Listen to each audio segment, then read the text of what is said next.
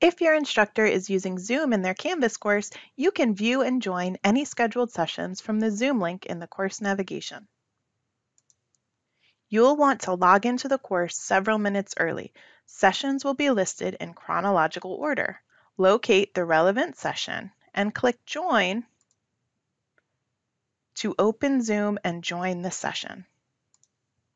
Your instructor will have their own preferences for how they'll run their session, but as a general rule, you should stay muted unless you're actively contributing to the discussion.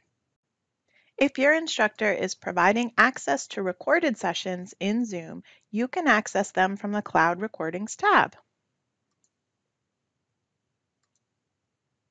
Alternatively, your instructor might use Panopto Video to provide you with access to Zoom recordings. Each individual instructor will communicate their plan to you. You should not have to sign in to join a Zoom session from Canvas, but if you ever are asked to sign in to join a UNCG Zoom session, you should choose the Sign In with SSO option and then add UNCG as the domain.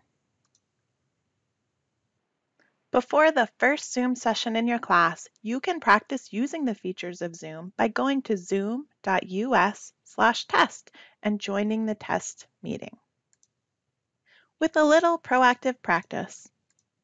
You'll be able to focus on your instructor rather than trying to figure out the technology.